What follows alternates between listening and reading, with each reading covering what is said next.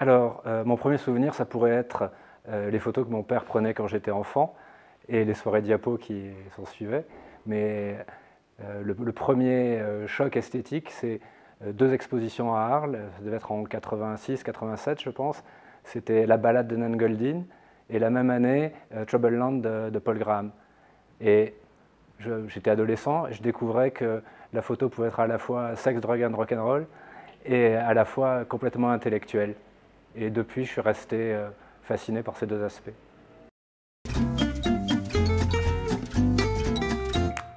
Euh, la dernière exposition avec des photos dedans, c'était euh, Christian Boltanski au Centre Pompidou.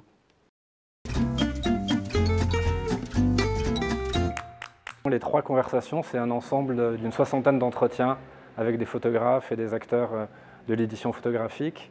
Et l'objet, c'est d'évoquer l'œuvre des artistes à travers leurs livres. Le, livre ici est, on pourrait dire, un prétexte, mais pas seulement, dans le sens noble du terme, euh, pour évoquer l'œuvre.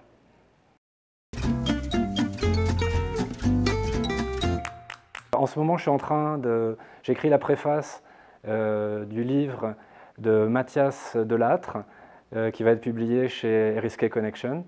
le livre s'appelle Mover Therapy et euh, c'est un sujet assez fascinant, c'est sur les champignons hallucinogènes.